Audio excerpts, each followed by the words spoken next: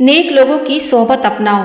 कुरान करीम में अल्लाह सुबहान ताला ने अच्छों की सोहबत अपनाने का हुक्म देते हुए फरमाया ए ईमान वालों, अल्लाह से डरो और सच्चों के साथ हो जाओ।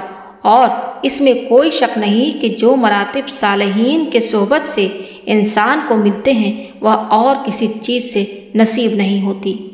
अच्छी सोहबत की अहमियत का अंदाज़ा इस बात से भी लगाया जा सकता है कि साहब कराम को जो मकाम और मरातब मिले, वह नबी करीम सल्लल्लाहु अलैहि वसल्लम की सोहबत का नतीजा है।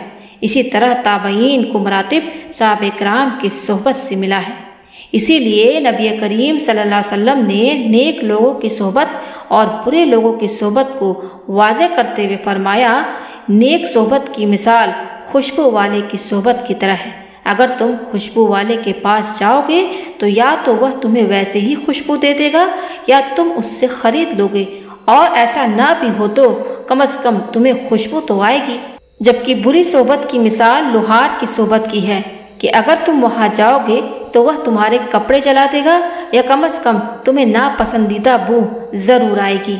इसी अहमियत की वजह से मशाइ अपने मुरीदों को बदअकीदा और बुरे लोगों की सोहबत इख्तियार करने से सख्ती से मना करते हैं। तरीक़ा बुरहानिया के शेख तरीक़त इमाम अहल बैत सैद फ़खरुद्दीन अल शेख मोहम्मद उस्मान अब्दुल बुरहानी रदी अल्लाह तहो अपने मुरीदों को नसीहत करते हुए फरमाते हैं अय मेरे मुरीद, बातिल दावे करने वालों की सोबत न अख्तियार करना। और जो लोग इनकार करने वालों को पसंद करते हैं, उनकी सोबत भी न अख्तियार करना। लिहाजा इंसान को हम नशीन और साथी चुनने में नहायत एहतियात से काम लेना चाहिए। नबी करीम सल्लल्लाहु अलैहि वसल्लम ने फरमाया तो सिर्फ़ मोमिन से दोस्ती रख और तेरा खाना सिर्फ़ मुत्तकी खाए। अल्लाह सुबहान ताला हमें नेक लोगों और अपने मुकर्रबीन की सोहबत अता फरमाए। आमीन।